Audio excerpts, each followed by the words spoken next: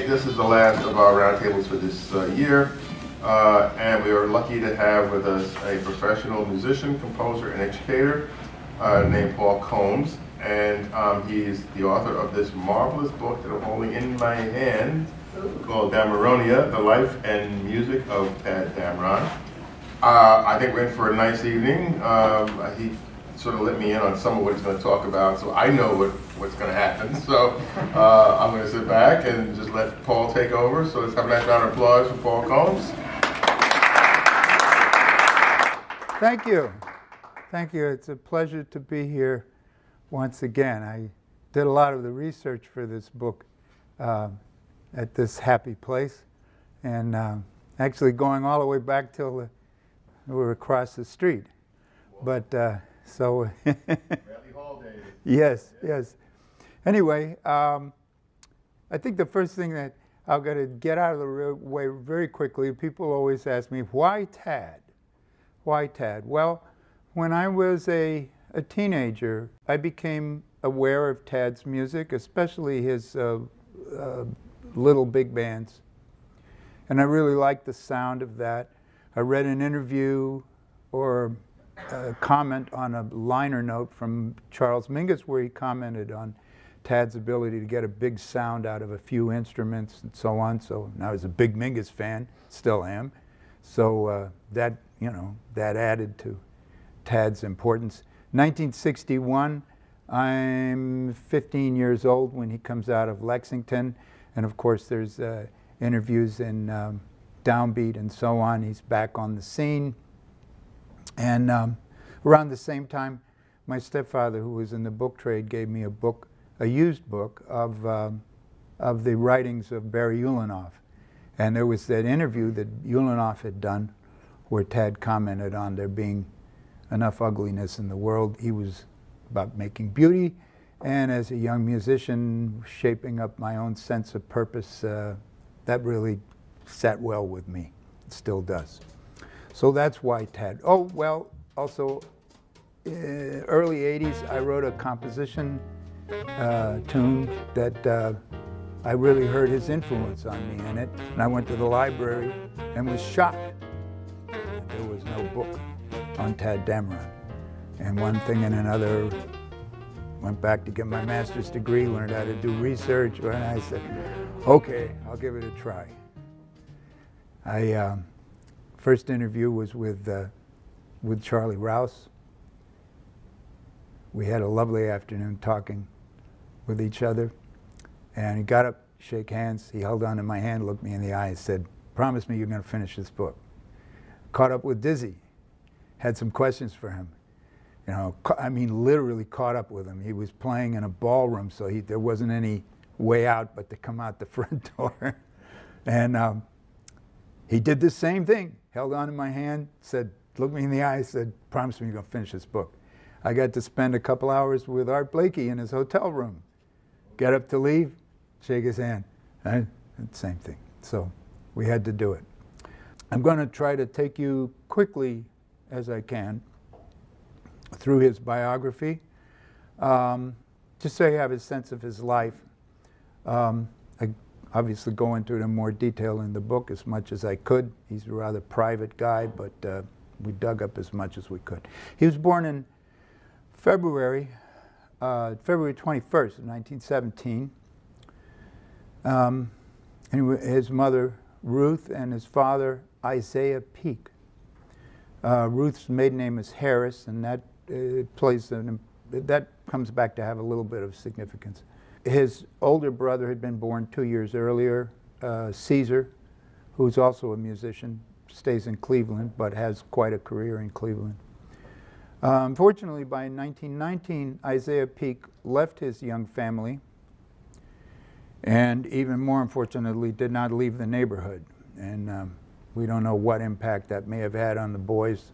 I have suspected it had some serious effects on Tadd, but I don't know. So Ruth supported herself and her boys by uh, taking in seamstress work, and she also played piano in the silent movies, probably bringing the boys along with her on occasion if she couldn't get relatives to watch them. Uh, Tadd certainly said he had interest in music from the age of four, possibly earlier. We, it's hard to remember much earlier than four years old. Anyway, by seven years old, uh, by the time he was seven, um, Ruth had met a gentleman named Adolphus Dameron, who married her. And um, the boys took the Dameron name. And um, another, further evidence that the father didn't, uh, didn't have much to do with the, with the boys after he left the family is that he didn't put up any fuss about that.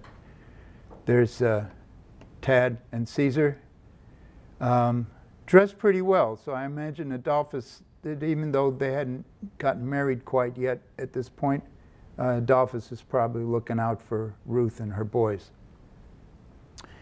And uh, the uh, family, the Dameron family, and Ruth's family, the Harrises, were all amateur musicians and even some professionals.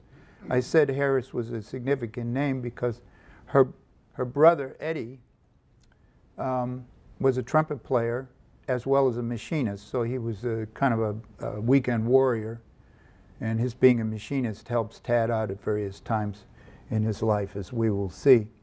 We don't know too much about his musical education. He said he took lessons from his mother, but she definitely had him practice because uh, um, one of his childhood friends recalls him her, calls her coming out when they were playing baseball and he wanted to play baseball rather than come in and practice. And she came out with a razor strap. So you're getting back in here and practicing. So he was about nine at that time. By the time he got into high school, his older brother and his older brother's friends are probably coaching him, teaching him about theory and so on because he said he took the theory class in high school but almost flunked because he knew all this stuff already and it bored him. By the time he was um, a senior in high school, uh, his brother was bringing him to jam sessions, and Tadd was uh, distinguishing himself. Uh, the older musicians, some of them were uh, kind of aghast at what this, the voicings this young man was using at the piano. This is 1935. Uh, but others of a more progressive mindset were delighted, were really impressed. You know, whoa, this young guy is doing this. So, um, although he said, I believe to Ulanov, that he went to Oberlin to study medicine, that wasn't the case at all. Oberlin has no record of him ever being there. And my suspicion is that he entered the world of professional music right out of high school. There were no doubt singers in, in small clubs to accompany. Um, there seems to be some indication that uh, he subbed at least with the bands of Zack Whyte and, um, uh, and others around Cleveland. Um, by 1937, probably, his childhood friend Freddie Webster, the great trumpet player, who died too young, which is why a lot of people may not know about Freddie Webster, but Freddie Webster was magnificent. And uh, they grew up, they were the same age, they were, you know, playmates. Well, Freddie had put together a 13, 14 piece band. Tadd was in that band, wrote arrangements for it, and um, uh, sang, played the piano, and so on. By 1938, Tadd and Freddie are going off to Chicago occasionally. Freddie spent some time with the Hines Band. Budd Johnson remembers the Hines Band running down some of Tadd's charts.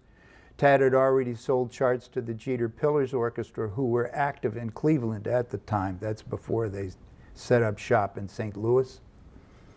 And probably others, maybe smaller bands around town and so on, and this will become of significance later on.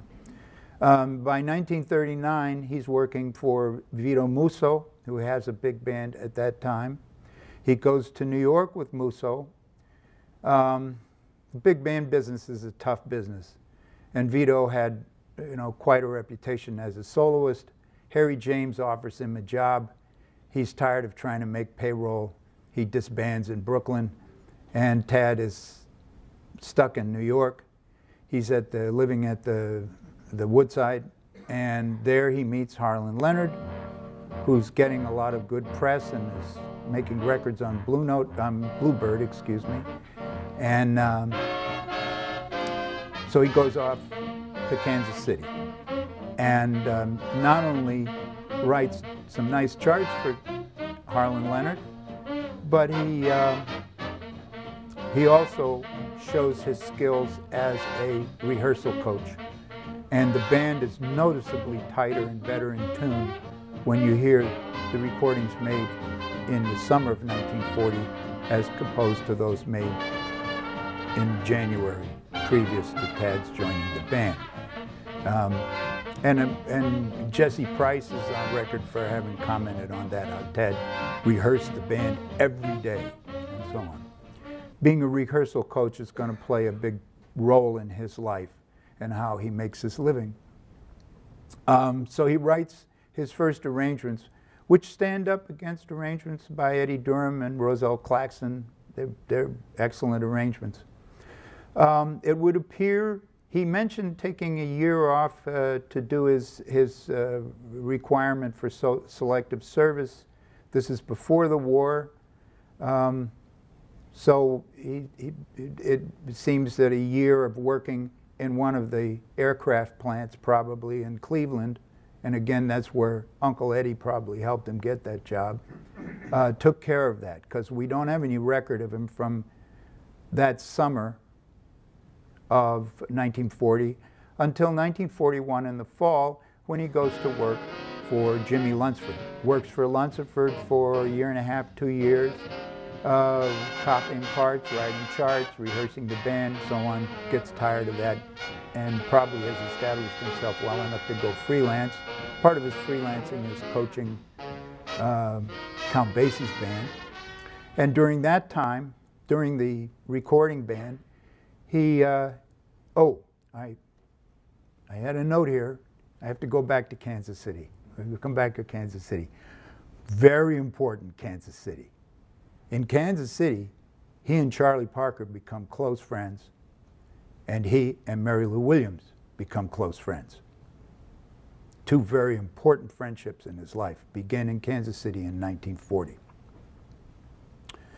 So now around 1943, he and Dizzy meet up at Minton's or Monroe's.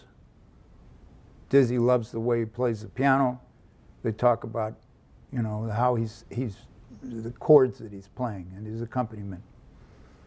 And, um, and they become fast friends and remain so.